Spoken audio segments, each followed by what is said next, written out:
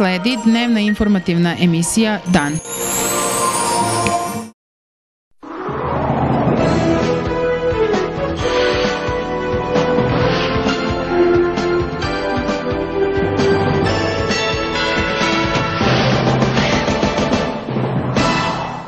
Srpska napredna stranka najavila da će krajem ove ili početkom sljedeće nedelje početi razgovori o formiranju nove vlade. Druge stranke koje su prešle cenzus očekuju poziv, a analitičari poručuju da lider naprednjaka Aleksandar Vučić ima odrešene ruke da napravi i široku koaliciju koju je govorio. Potpredsjednica SNS-a Zorana Mihajlović rekla je da će odluka o mogućim koalicijonim partnerima biti doneta na osnovu programa koji buduća vlada treba da sprovede. Ona poručuje da još nije zakazana sednica predsjedništva stranke, kao ni glavni odbor koji će razmotriti to pitanje, ali je napomenula da je to pitanje dana. Mihajlović istakla i da još nije poznat broj resora buduće vlade, pa pe naglasila da je najvažnije da nova vlada bude funkcionalna i efikasna. Pokušat ćemo da na svako mesto u vladi stavimo ljude koji mogu da se nose sa problemima 24 sata dnevno, rekla je Mihajlovićeva i navela da će buduću vladu odrediti samo program i da će u okviru njega tačno biti vremenski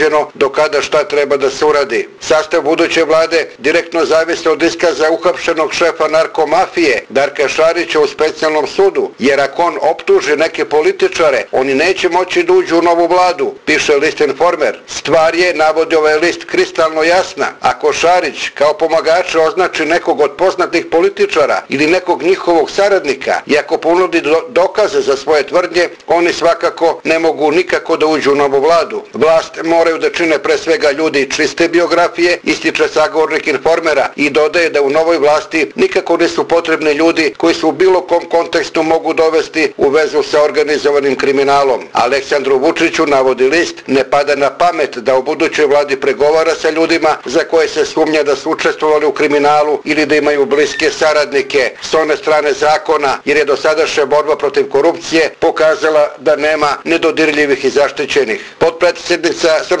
napredne stranke Zorana Mihajlović smatra da je vreme da se otkriju svi narkopomagači. Državni organi kao i javnost moraju što pre saznati ko je pomogao Šariću da pobegne pre nekoliko godina, rekla je Zorana Mihajlović.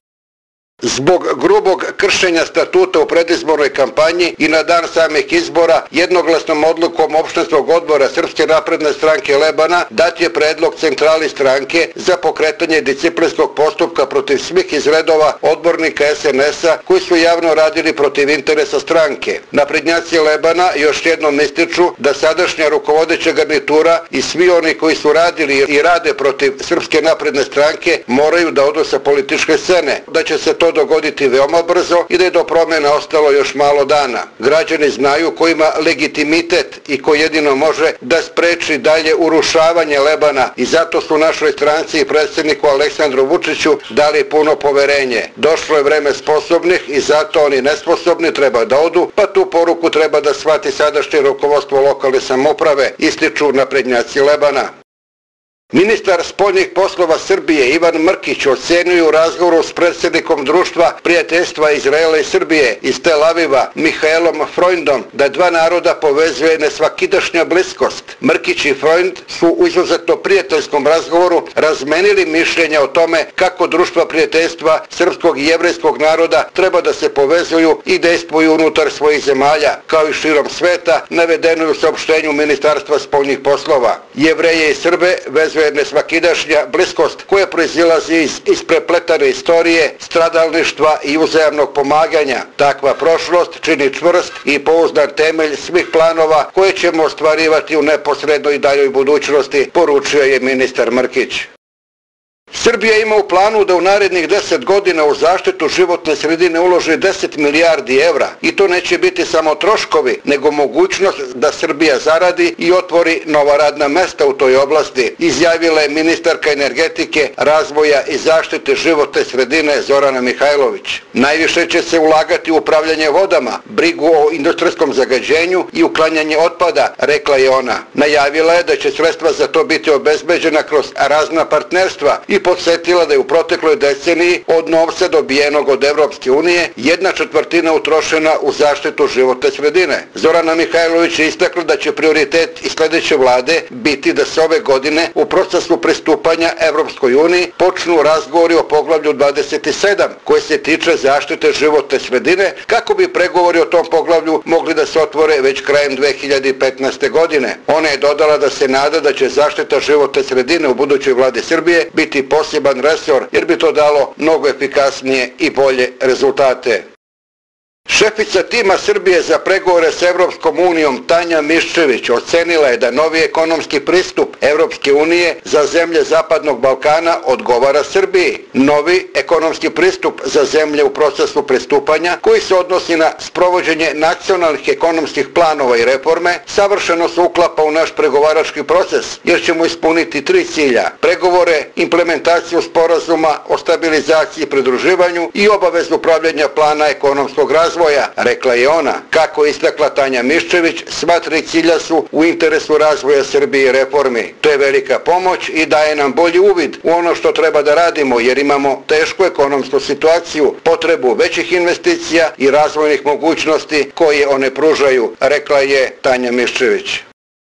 Ministar financija Lazar Krstić najavio je da će nova misija Međunarodnog monetarnog fonda doći u Srbiju nakon formiranja nove vlade i da će se tada pregovarati o potpisivanju novog trogodišnjeg aranžmana koji ne predviđa povlačanje novca od MMF-a. Krstić je najavio da će obzirom na visok nivo javnog duga i njegov tempo rasta u proteklih pet godina, jedan od ciljeva nove vlade biti da taj dug stabilizuje i preokrene njegovu dosadašnju putanju. Da bi se to ostvarilo, bit će neophodne značajne značajne uštede u budžetu kako bi se deficit smanjio na 2-3% bruto društvenog proizvoda, ali u pregovorima s MMF-om mnogo više pažnje posvećeno strukturnim reformama i planu za borbu protiv sive ekonomije. Uštede u budžetu moraju da budu praćene donošenjem seta zakona, reformom državne uprave, zdravstva, školstva i lokalne samuprave i završetkom procesa restrukturiranja državnih preduzeća. Krstić je istakao i da pored preduzeća u restrukturiranju, preliminarne procene ukazuju da postoje viškovi administrativnog osoblja u svim velikim državnim sistemima, a prevashodno u lokalnoj samopravi, zdravstvu i obrazovanju. Zajedno sa paketom reformse zakona, rekao je Krstić, nova vlada Srbije predstavići nacionalni prioritetni plan koji definiše načine na koje će država u buduće posticati otvaranje novih radnih mesta.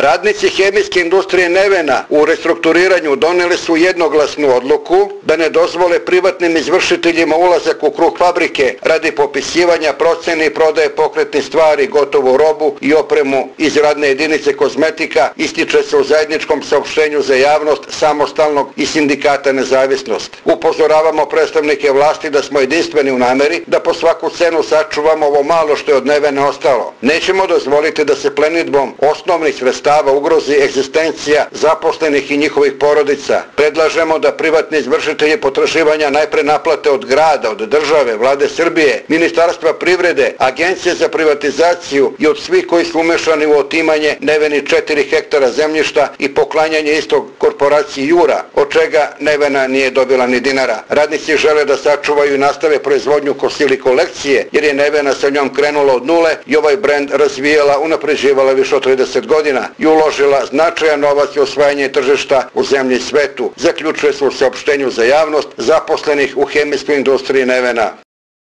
U motelu Predene danas je održan okrugli 100 projektima prekogranične saradnje Srbija-Bugarska, koji će se finansirati iz IPA fondova Evropske unije. Okrugli 100 je organizovao Centar za razvoj Jablaničkog i Pčinskog okruga, a osim privrednika učestvovali svi predstavnici pograničnih opština Južne, Istočne Srbije i Bugarske. Radi se o timovima koji će raditi na zajedničkim projektima za unapređenje poslovnih kapaciteta u privredi i drugim oblastima. Tehnička škola Rade Metalac u Leskovcu organizovala je besplatnu pripremnu nastavu za malu maturu i angažovala 24 profesora srpskog jezika i matematike, a interesovanje učenika je veliko. Kako bi upisali željenu školu, mnogi osnovci plaćaju privatne časove. Sada imaju priliku da besplatno urade sve zadatke i pripreme za ispit života, kaže Suzana Cvetković, profesorica matematike, i dodaje da je potrebno da deca shvate principe rada, da pokupe postupke i da nauče osnovno puno kako bi sve to znali da primene na nepoznatim zadacima. Želimo da vidimo koje predznanje deca imaju i da kasnije se našim kolegama iz osnovnih škola analiziramo šta i kako da poboljšaju svoj rad sa narednim generacijama, kaže direktor tehničke škole Slavoljub Stanojević. Ove godine malu maturu u Leskovcu polagaće 1370 učenika, 60 manje nego lane. Na listi želja jedno od prvih pet mesta zauzima i tehnička škola koja ima tri područja rada, mašinstvo, elektrotehniku i saobraćaj.